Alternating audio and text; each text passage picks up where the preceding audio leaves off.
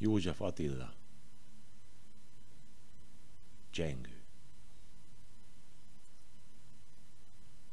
A csengettyű csinálást felfedezni csak azt tudta, aki kedvese kék szemét elfeledni sohasem tudta. A fákon megszólalnak a csengők. Valaki megérkezett. A hajnalnak is sok csengője van.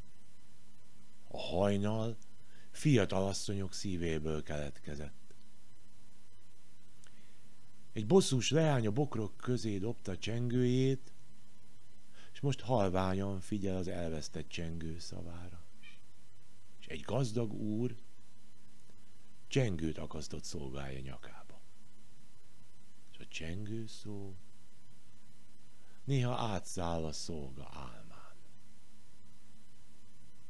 Ha nem volna csengő, akkor én magam kitalálom.